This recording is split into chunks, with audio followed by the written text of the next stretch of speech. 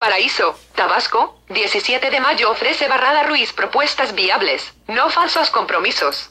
Ante vecinos del poblado Madero, el candidato de la coalición Movimiento Progresista por Tabasco a la alcaldía de Paraíso Bernardo Barrada Ruiz, anunció que si lo favorece el voto de los ciudadanos emprenderá un programa de mejoramiento de caminos rurales y otro más de servicios de salud poblado, Madero. Con una sencilla analogía, el doctor Bernardo Barrada Ruiz convenció a los habitantes de este poblado que sus propuestas de gobierno son mejores porque recogen las necesidades de la población y están programadas de acuerdo a las posibilidades económicas del ayuntamiento, pues de lo contrario serían simplemente falsos compromisos que ni con firmas ni sellos se pueden cumplir. No podemos ir al mercado con 200 pesos y comprar 500 de mandado. Si el presupuesto del municipio es de 304 millones tenemos que elaborar nuestro plan de desarrollo con base en esos recursos. Por eso venimos hoy a presentarles un proyecto de gobierno con propuestas viables y sustentadas, pero también a pedirles su apoyo para que podamos hacerlas realidad. No estamos aquí para ofrecerles lo que no podemos cumplir, ni afirmar compromisos porque nosotros sí tenemos honorabilidad y valoramos la palabra empeñada, afirmó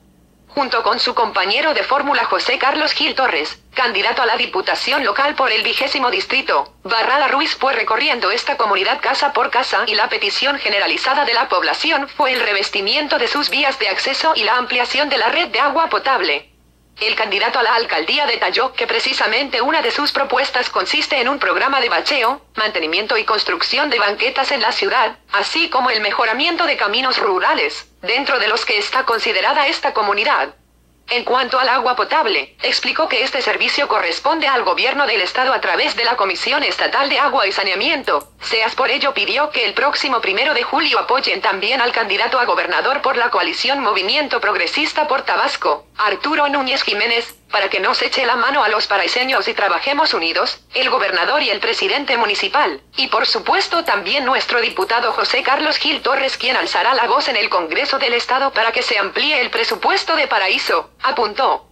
Otra de las propuestas que fue muy bien recibida por las familias del poblado Madero es el programa de salud mediante el cual se ofrecerán diariamente al menos 100 consultas médicas con sus respectivos medicamentos sin costo alguno, así como terapias de rehabilitación, análisis clínicos, ultrasonidos y programas de lentes a bajo costo durante toda la administración.